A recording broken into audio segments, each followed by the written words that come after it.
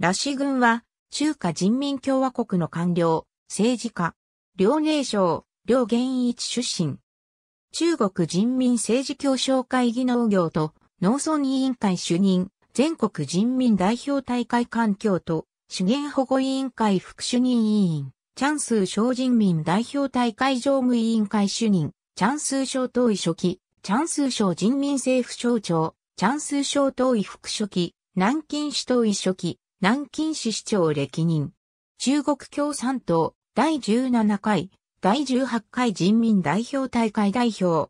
中国共産党第17期中央候補委員、第18期中央委員。第11期全国人民代表大会代表。第13回全国政治協商会議常務委員。1951年11月、遼寧省、遼元一で生まれる。ラシ軍の父のラモンは日本に留学したことがあります。1968年に軍隊に入り、北海艦隊に所属しました。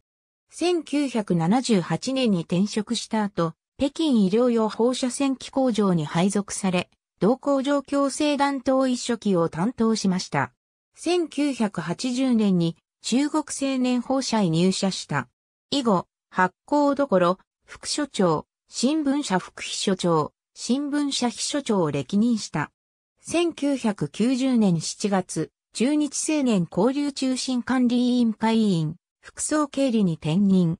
1993年2月に中国共産主義青年団中央常務委員兼実業発展部部長に昇進し、中国青年実業発展総講師の当事長を務めました。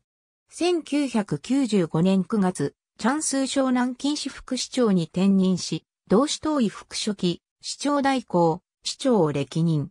2003年4月、小党委員会常務委員兼南京市党委書記に昇格。2007年12月、チャンスー省党委副書記に就任。翌年1月には、チャンスー省人民政府省長を兼務する。2010年12月6日、定年退職した両他を引き継いで、チャンスー省党委書記を務め、省長を辞任しました。2013年1月、チャンスー省人民代表大会常務委員会主任を兼務。2016年7月2日、第12期全国人民代表大会常務委員会第21回会議は、全国人民代表大会環境と資源保護委員会副主任委員にラッシュ軍を任命した。2018年3月、第13回中国人民政治協商会議農業と農村委員会主任を担当した。ありがとうございます。